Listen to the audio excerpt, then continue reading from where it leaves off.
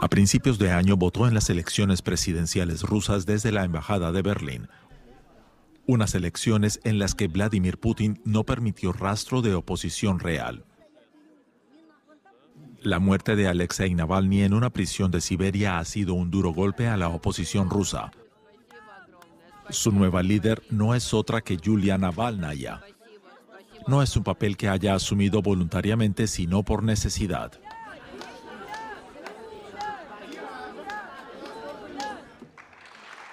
Apenas 12 días después de la muerte de su marido, se dirigió a los legisladores europeos en Estrasburgo.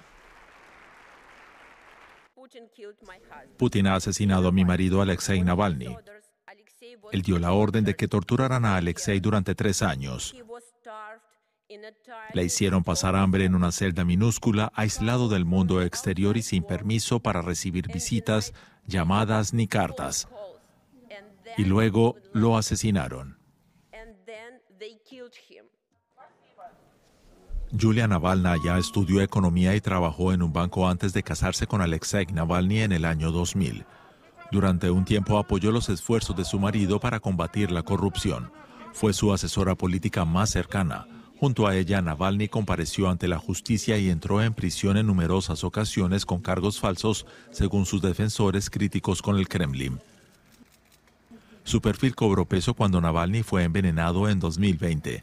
Mientras su marido luchaba por su vida en un hospital de Siberia, ella publicó una carta a Vladimir Putin y lideró una campaña para permitir que su marido volara a Alemania para recibir tratamiento médico.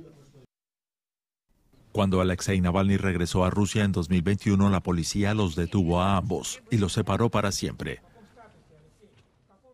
Navalny ya pasó durante un tiempo a un segundo plano pero tras el encarcelamiento y la muerte de su marido apostó por retomar su lucha contra el Kremlin.